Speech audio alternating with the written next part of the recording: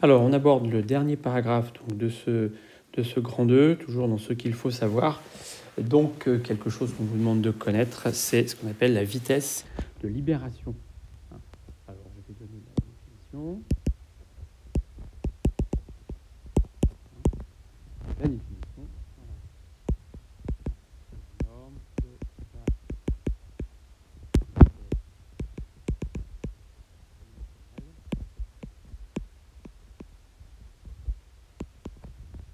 Laquelle il faut lancer.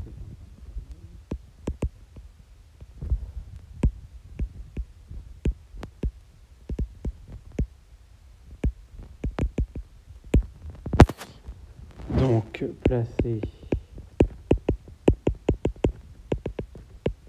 initialement à une distance R0 du centre astre pour que sa trajectoire, pour que sa trajectoire soit non bornée. Voilà, alors la définition implique que pour qu'on ait une trajectoire non bornée, euh, ça ne dépend que de la norme de la vitesse euh, initiale, hein, évidemment le, la distance à laquelle on fait ce lancement. On pourrait se dire, bah, selon que je lance, je sais pas, euh, perpendiculairement au vecteur OM0 ou euh, avec un certain angle, il se pourrait que dans certains cas on libère, dans certains cas on libère pas, puisque la, une trajectoire, ça dépend des conditions initiales, d'accord? Donc ça dépend, euh, voilà, c'est pas forcément de la norme de la vitesse. Il se trouve que, euh, voilà, pour, pour, libérer donc un point matériel de l'attraction gravitationnelle d'un astre, alors on ne libère jamais parce que l'attraction gravitationnelle a une portée infinie, hein, mais c'est un petit peu le sens du mot vitesse de libération. Hein, en tout cas, voilà, il ne reste pas piégé. Euh, c'est la, condition de vitesse pour que le point matériel ne reste pas piégé dans le champ de gravitation de l'astre. Évidemment, on ne tient pas compte des autres champs de gravitation que le système pourrait, le point matériel pourrait, pourrait rencontrer. Hein. Voilà. Et donc, c'est la vitesse minimale à laquelle donc, le, voilà, le point matériel peut s'éloigner euh, sans retour du, de l'astre euh, qui exerce une force attractive gravitationnelle sur lui. Alors, euh, on va utiliser le critère qu'on a vu au paragraphe précédent. Hein.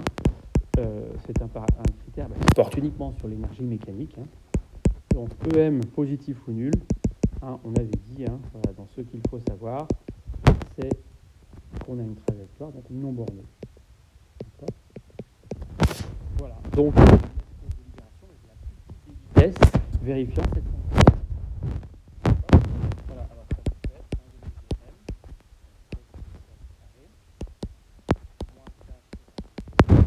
1 Bon, voilà, c'est un calcul tout simple. 15 sur 1 de 0 carré. Super, ici le K, je vais le remplacer par sa valeur.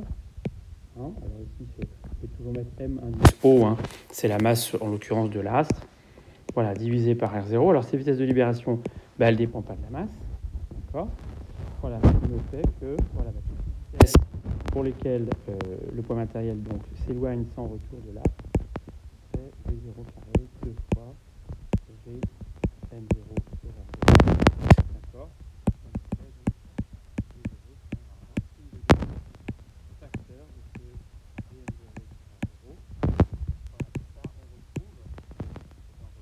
vitesse euh, circulaire, si j'ose dire, hein, peut-être un point matériel, donc à, en, à trajectoire circulaire à ray, de, de, rayon R0.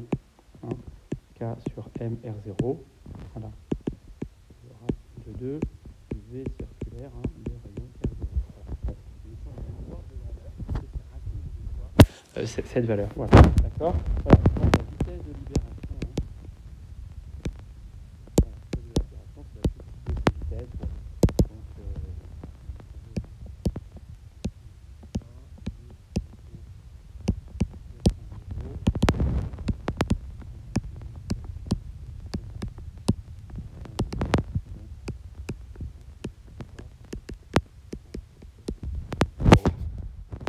Voilà.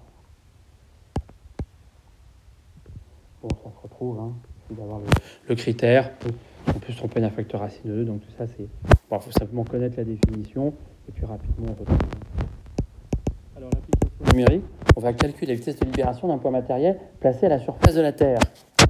La vitesse de libération à la surface de la Terre, d'accord évidemment, euh, ne tient pas compte des frottements avec l'atmosphère. Hein. Voilà, donc notre vitesse de libération à la surface de la Terre. Là, je ne plus. Va. Voilà. Alors, vitesse. ça marche toujours plus. Alors, une seconde.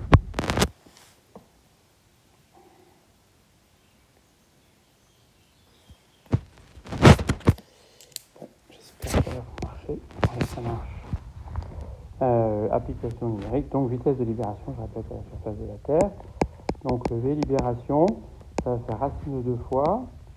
G, alors le MO, ici c'est la masse de la Terre, d'accord Et donc on a dit un point matériel placé à la surface de la Terre, donc le R0 c'est RT, c'est le rayon euh, terrestre.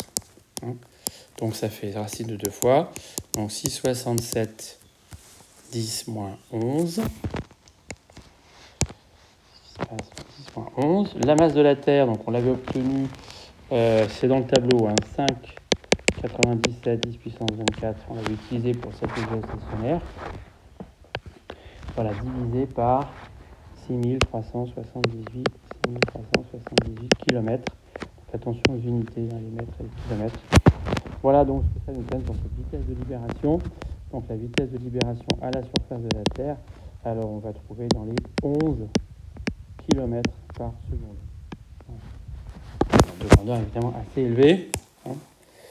Voilà, euh, alors les remarques qu'on peut faire là-dessus, ben, euh, il faut que, hein, les, molécules de l'air hein, aient une vitesse très très inférieure à cette vitesse de libération pour que l'atmosphère euh, tienne autour de la Terre. C'est une application de cette vitesse de libération. voilà, peut-être vous ferez ça en MP l'an prochain pour ceux qui auront MP, MP étoile. Calculer la, entre guillemets, la vitesse moyenne, enfin, la distribution de vitesse euh, des particules dans l'atmosphère. On voit qu'heureusement, bon, à température ambiante, hein, très inférieure à cette vitesse-là.